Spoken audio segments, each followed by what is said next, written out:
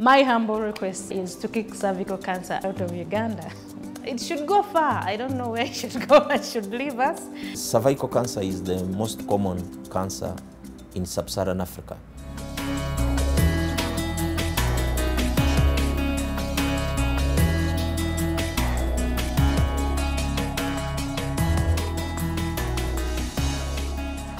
What I tell people that Aspire is about is an option uh, for HPV self-collection uh, in low resource settings, specifically in Uganda, where women don't have access to screening, partly because there's no infrastructure in the country for a, a cytology or a pap smear based screening. New screening technologies uh, are very welcome to a developing country like Uganda. We went house to house looking for women above 30 years. And I was given that swab and I tested myself.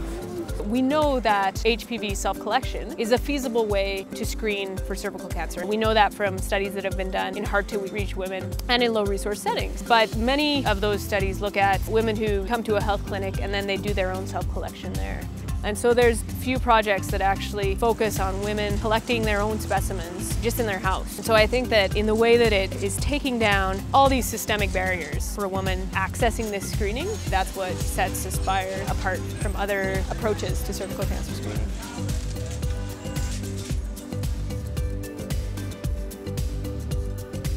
When people receive good service, they become uh, change agents in the, in the society. There's no question that women are willing to participate.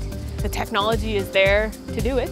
It almost sounds too good to be true, but it is actually a, a feasible method to move forward with.